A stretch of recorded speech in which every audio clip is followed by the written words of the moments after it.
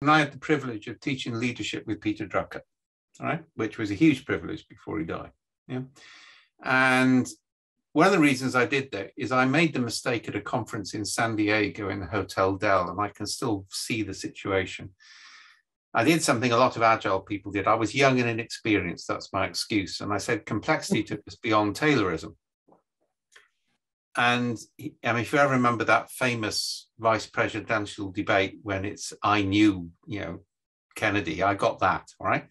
If you've ever been taken apart by a 93 year old genius on a public platform in front of 2,000 people, I ended up as a puddle of humiliation on the stage.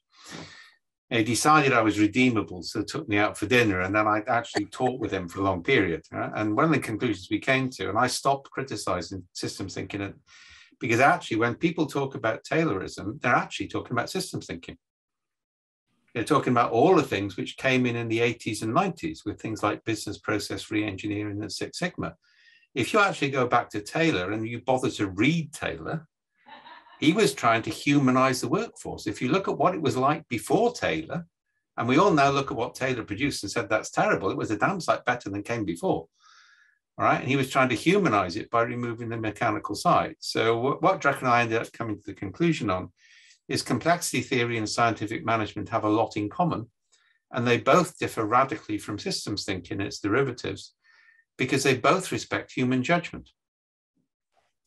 If you actually go back to, to Taylorism, management is an apprentice model of management.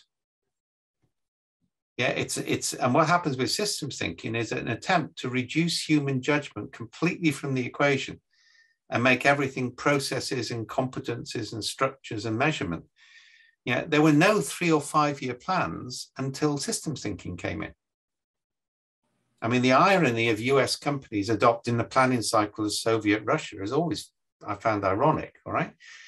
Um, the reality is, you had people with lots of experience who adapted to things as they went along and did some long-term things and did some risks. And you know, they grown. You know, they had they brought in new blood from time to time, but the majority of people, like Japanese companies, still to this day, were there for life. So they built the relationships and they were committed to the company long term. Now we're bringing back that type of decision making in the work we're now doing on complexity. Mm.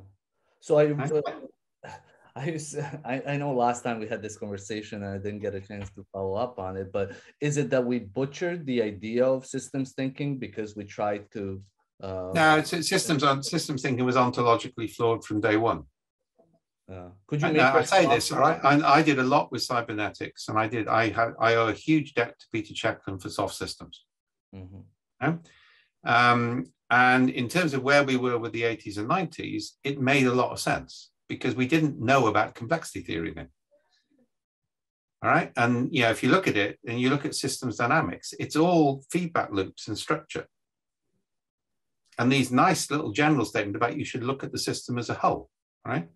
Mm-hmm. And so what you see with systems thinking also comes in, it's dominated by engineers and by information processes. So things like Ashby and Shannon, that's where it comes from. Yeah. And of course, engineers don't like ambiguity and uncertainty. Yeah, and therefore we get re-engineering the corporation. And the famous thing at the start of you know, Hammer and Champy's book, nothing that has happened in the past has any relevance to the future. That's what it says.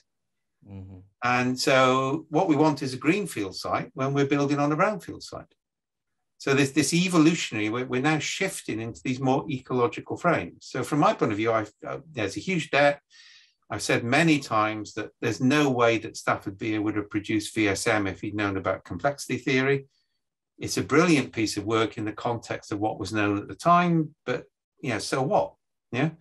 Mm-hmm. And you know, this is, you know, people say, well, systems thinking addressed complexity. Well, yes, it did. Human, the human race addressed gravity with canals, but then Newton came along and we understood the science, at which point we can do things differently. All right.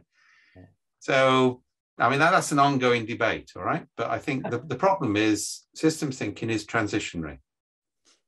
Right? There's still things in it which have value, but it's not a universal. All right. And it doesn't handle, I mean, it's quite interesting. I mean, you listen to Gerald Midgley, I was listening to the other day, all right? This is one of the Doyens. He says the definition of a system is something which has boundaries and is based on human perception. Well, from a complexity point of view, systems are divided by coherence, not by boundaries. Some systems don't have boundaries. And we also, this is materialism, we actually know that things actually exist. It's not just about human perception. So if a human being wants to say a system is something when it's something different, that's rather like treating young creationists as they should be, as if their argument should be accepted seriously. Mm-hmm. You know, it's, it's the old phrase used with postmodernists is reality exists, live with it. Yeah.